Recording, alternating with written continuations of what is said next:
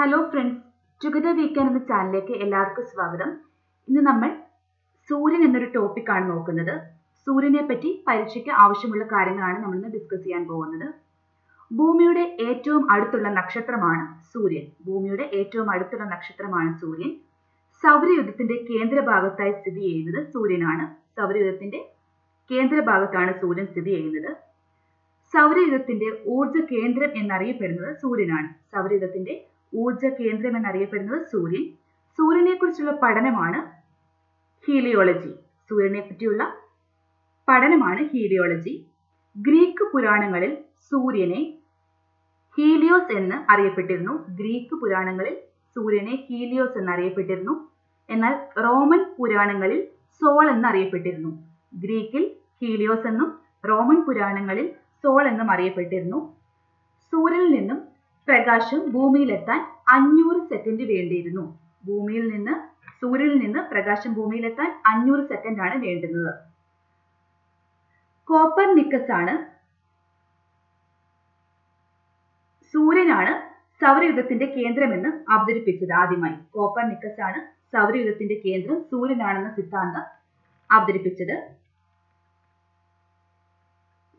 സൂര്യനും എട്ട് ഗ്രഹങ്ങളും ചേർന്നതാണ് സൗരയുധം എന്ന് പറയുന്നത്. അതിന്റെ കൂടെ തന്നെ അഞ്ച് കുള്ള ഗ്രഹങ്ങൾ കൂടെ ചേർന്നതാണ് സൗരയൂഥം. അടുത്ത ഇമ്പോർട്ടന്റ് പോയിന്റ് ആണ്. സൗരയൂഥത്തിൽ ഏറ്റവും അടുത്തുള്ള നക്ഷത്രമാണ് പ്രോക്സിമ സെഞ്ചുറി. സൗരയൂഥത്തിന്റെ ഏറ്റവും അടുത്തുള്ള നക്ഷത്രമാണ് പ്രോക്സിമ സെഞ്ചുറി. സൂര്യൻ കഴിഞ്ഞ ഭൂമിയിൽ നിന്ന് കാണാൻ കഴിയുന്ന ഏറ്റവും തിളക്കമുള്ള നക്ഷത്രമാണ് സീരിയസ്. സൂര്യൻ കഴിഞ്ഞാൽ ഭൂമിയിൽ നിന്ന് നോക്കാൻ നോക്കിയാൽ ഏറ്റവും തിളക്കമുള്ള നക്ഷത്രമാണ് സീരിയസ് എന്ന് പറയുന്നത്. അടുത്ത പോയിന്റ് സൗരയുധത്തിൽ ഏറ്റവും കൂടുതൽ ഗുരുത്വാകർഷണം അനുഭവപ്പെടുന്നത് സൂര്യനിലാണ്. സൗരയുധത്തിൽ ഏറ്റവും കൂടുതൽ ഗുരുത്വാകർഷണം അനുഭവപ്പെടുന്നത് സൂര്യനിലാണ്. സൂര്യനിൽ ഏറ്റവും കൂടുതലുള്ള മൂലകം ഹൈഡ്രജൻ. നമ്മൾ ഈ പറയുന്ന പോയിന്റ്സ് എല്ലാം മുൻപ് പരീക്ഷകളിൽ ചോദിച്ചിട്ടുള്ളതാണ്. സൂര്യനിൽ ഏറ്റവും കൂടുതലുള്ള മൂലകം ഹൈഡ്രജൻ ആണ് സൂര്യനിൽ നടക്കുന്ന പ്രതിഭാസമാണ് അണുസംയോജനം. അറ്റോമിക് ഫ്യൂഷൻ ആണ് നടക്കുന്നത്. അണുസംയോജനം മീൻസ് അറ്റോമിക് ഫ്യൂഷൻ ആണ് നടക്കുന്നത്. ഹൈഡ്രജൻ ആണ് ഏറ്റവും കൂടുതലുള്ള മൂലകം. അറ്റോമിക് ഫ്യൂഷൻ എന്ന് പറഞ്ഞാൽ വൻതോതിൽ ഹൈഡ്രജൻ ഹീലിന ഹീലിയമായി മാറിക്കൊണ്ടിരിക്കും. വൻതോതിൽ ഹൈഡ്രജൻ ഹീലിയമായി മാറിക്കൊണ്ടിരിക്കും. സൂര്യനിൽ സൂര്യനിൽ ഏറ്റവും കൂടുതലുള്ള രണ്ടാമത്തെ മൂലകമാണ് ഹീലിയം ഒന്നാമത്തെ മൂലകം ഹൈഡ്രജൻ രണ്ടാമത്തെ മൂലകം ഹീലിയമാണ് സൂര്യനിൽ അവസ്ഥയിലാണ് ദ്രാവകം സ്ഥിതി ചെയ്യുന്നത്. പ്ലാസ്മ അവസ്ഥയിലാണ് സൂര്യനിൽ ദ്രാവകം സ്ഥിതി ചെയ്യുന്നത്. സൂര്യന്റെ ഉപരിതലത്തിലെ ശരാശരി താപനില അയ്യായിരത്തി അഞ്ഞൂറ്റി അഞ്ചാണ് അത്രയും ഇമ്പോർട്ടന്റ് ആയിട്ട് നോക്കണ്ട. അടുത്ത ക്വസ്റ്റ്യൻ സൂര്യന്റെ ദൃശ്യമായ പ്രതലമാണ് ഫോട്ടോസ്ഫിയർ ഇമ്പോർട്ടന്റ് ആണ്. സൂര്യന്റെ ദൃശ്യമായ പ്രതലമാണ് ഫോട്ടോസ്ഫിയർ സൂര്യന്റെ അന്തരീക്ഷത്തിലെ ഏറ്റവും മുകളിലത്തെ ഭാഗമാണ് കൊറോണ.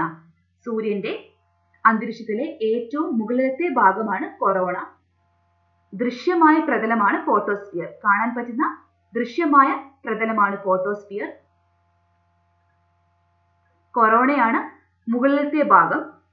സൂര്യന്റെ അന്തരീക്ഷത്തിലെ മധ്യഭാഗമാണ് ക്രോമോസ്ഫിയർ. സൂര്യന്റെ അന്തരീക്ഷത്തിലെ മധ്യഭാഗമാണ് ക്രോമോസ്ഫിയർ. അപ്പൊ മൂന്ന് ടേംസ് ആണ് പഠിച്ചത്. ഫോട്ടോസ്ഫിയർ കൊറോണ ക്രോമോസ്ഫിയർ മധ്യഭാഗമാണ് ക്രോമോസ്ഫിയർ. ഭൂമിയിലെ ഊർജത്തിന്റെ പ്രധാന ഉറവിടമാണ് സൂര്യൻ. അതുപോലെ തന്നെ സൂര്യകിരണങ്ങൾ കൊണ്ട് സൂര്യതാപം ഏൽക്കുന്നത് ഏത് കിരണങ്ങളിലാണ്? സൂര്യനിൽ നിന്നുള്ള അൾട്രാ വയലറ്റ് കിരണങ്ങൾ കാരണമാണ് സൂര്യതാപം ഏൽക്കുന്നത്. അൾട്രാ വയലറ്റ് അൾട്രാ വയലറ്റ് കിരണങ്ങൾ. ഭൂമി സൂര്യനോട് ഏറ്റവും അടുത്ത് വരുന്ന ദിവസമാണ് ജൂലൈ മൂന്ന്. ഇമ്പോർട്ടന്റ് ആയിട്ടുള്ള രണ്ട് ഡേറ്റ്സ് ആണ് ഇനി പറയാൻ പോകുന്നത്. ഭൂമി സൂര്യനോട് ഏറ്റവും അടുത്ത് വരുന്ന ദിവസം ജൂലൈ ഏറ്റവും അകലെ വരുന്ന ദിവസം ജൂലൈ നാല് ഏറ്റവും അടുത്ത് വരുന്ന ദിവസം ജനുവരി മൂന്ന്. ഏറ്റവും അടുത്ത് വരുന്ന ദിവസം ജനുവരി മൂന്നാണ്. ഏറ്റവും അടുത്ത് വരുന്ന ദിവസം ജനുവരി മൂന്ന് അകലെ വരുന്ന ദിവസം ജൂലൈ നാല്. ഭൂമിയിലും ഭൂമിയും സൂര്യനും തമ്മിലുള്ള ശരാശരി അകലം പതിനഞ്ച് കോടി കിലോമീറ്റർ ആണ് ഭൂമിയും സൂര്യനും തമ്മിലുള്ള ശരാശരി അകലം പതിനഞ്ച് കോടി കിലോമീറ്റർ ആണ് അടുത്തത് സൂര്യനോട് ഏറ്റവും അടുത്ത് സ്ഥിതി ചെയ്യുന്ന ഗ്രഹമാണ് ബുധൻ. ബുധനാണ് സൂര്യനോട് ഏറ്റവും അടുത്ത് സ്ഥിതി ചെയ്യുന്ന ഗ്രഹം. എന്നാൽ ഏറ്റവും അകലെ സ്ഥിതി ചെയ്യുന്നത് നെപ്റ്റ്യൂൺ ആണ് ഏറ്റവും അടുത്ത് സ്ഥിതി ചെയ്യുന്നത് ബുധൻ ഏറ്റവും അകലെ സ്ഥിതി ചെയ്യുന്നത് നെപ്റ്റ്യൂൺ. സൂര്യൻ കഴിഞ്ഞാൽ ഭൂമിയോട് ഏറ്റവും അടുത്തുള്ള നക്ഷത്രം. Proxima Centauri. സൂര്യൻ കഴിഞ്ഞാൽ ഭൂമിയുടെ ഏറ്റവും അടുത്തുള്ള നക്ഷത്രമാണ് പ്രോക്സിമ സെഞ്ചുറി. പ്രോക്സിമ സെഞ്ചുറി കഴിഞ്ഞു കഴിഞ്ഞാൽ ആൽഫ സെഞ്ചുറിയാണ്. ഭൂമിയിൽ നിന്ന് നോക്കിയാൽ ഏറ്റവും വലുപ്പത്തിൽ കാണാൻ കഴിയുന്ന നക്ഷത്രമാണ് സൂര്യൻ. സൂര്യൻ കഴിഞ്ഞാൽ ഭൂമിയിൽ നിന്ന് നോക്കിയാൽ ഏറ്റവും വലുപ്പത്തിൽ കാണാൻ കഴിയുന്ന നക്ഷത്രം സീരിയസ് ആണ്. നമ്മൾ മുമ്പേ പറഞ്ഞിരുന്നു. ഈ സീരിയസിനെ തന്നെയാണ് ഡോഗ് സ്റ്റാർ എന്നും അറിയപ്പെടുന്നത്. സീരിയസിനെയാണ് ഡോഗ് സ്റ്റാർ എന്ന് അറിയപ്പെടുന്നത്.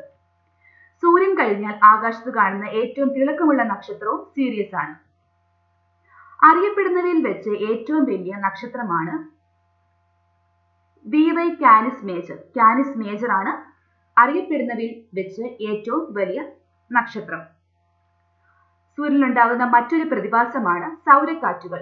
പതിനഞ്ച് വർഷത്തിൽ ഒരിക്കലാണ് സൗരക്കാറ്റുകൾ ഉണ്ടാകുന്നത്. സൂര്യന് ക്ഷീരപഥത്തിന്റെ കേന്ദ്രത്തെ ഒരു തവണ വലം വെക്കാൻ ആവശ്യമായ സമയമാണ് കോസ്മിക് ഇയർ. സൂര്യന് ക്ഷീരപഥത്തിന്റെ കേന്ദ്രത്തെ ഒരു തവണ വലയം വെക്കാൻ ആവശ്യമായ സമയമാണ് കോസ്മിക് ഇയർ സൂര്യനിൽ നിന്നുള്ള അകലത്തിന്റെ അടിസ്ഥാനത്തിൽ ഗ്രഹങ്ങളുടെ ക്രമം ബുധൻ ശുക്രൻ ഭൂമി ചൊവ്വ വ്യാഴം ശനി യുറാനസ് നെപ്റ്റ്യൂൺ എന്നിങ്ങനെയാണ്. ബുധൻ ശുക്രൻ ഭൂമി ചൊവ്വ വ്യാഴം ശനി യുറാനസ് നെപ്റ്റ്യൂൺ. വലിപ്പത്തിൽ വലിപ്പത്തിന്റെ അടിസ്ഥാനത്തിൽ ഉള്ള ക്രമം എന്ന് പറയുന്നത് വ്യാഴം ശനി യുറാനസ് നെപ്റ്റ്യൂൺ ഭൂമി ശുക്രൻ ചൊവ്വ ബുധൻ എന്നിങ്ങനെയാണ്. ഭൂമിയിൽ നിന്ന് അകലമനുസരിച്ച് ആദ്യത്തെ നാല് ഗ്രഹങ്ങളെ ആന്തരഗ്രഹങ്ങൾ എന്നും അകലെയായി സ്ഥിതി ചെയ്യുന്ന നാലെണ്ണത്തെ ബാഹ്യഗ്രഹങ്ങൾ എന്നും വിളിക്കുന്നു. ആദ്യത്തെ ഭൂമിയിൽ നിന്ന് സൂര്യനിൽ നിന്നുള്ള അകലമനുസരിച്ച് ആദ്യത്തെ നാല് ഗ്രഹങ്ങളെ ആന്തരഗ്രഹങ്ങൾ എന്നും അകലെയായി സ്ഥിതി ചെയ്യുന്ന നാലെണ്ണത്തെ ബാഹ്യഗ്രഹങ്ങൾ എന്നും വിളിക്കുന്നു. ബാഹ്യഗ്രഹങ്ങൾ വാതക ഭീകന്മാർ ഭീകരന്മാർ എന്നും അറിയപ്പെടുന്നു. വാതക ഭീമന്മാർ എന്നും അറിയപ്പെടുന്നു. ബാഹ്യഗ്രഹങ്ങൾ വാതക ഭീമന്മാർ എന്നും അറിയപ്പെടുന്നു. ഇൻഫീരിയർ ഗ്രഹങ്ങൾ എന്നറിയപ്പെടുന്നത് ബുധനും ശുക്രനുമാണ്. ഇൻഫീരിയർ ഗ്രഹങ്ങൾ എന്നറിയപ്പെടുന്നത് ബുധനും ശുക്രനുമാണ്.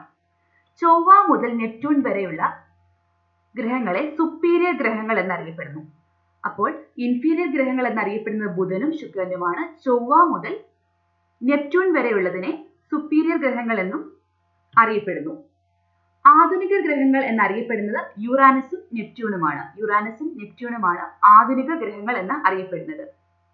പ്ലാനറ്റ് എന്ന വാക്കിന്റെ അർത്ഥം അലഞ്ഞു തിരിഞ്ഞ് നടക്കുന്നവർ എന്നാണ്. അലഞ്ഞു തിരിയുന്നവൻ.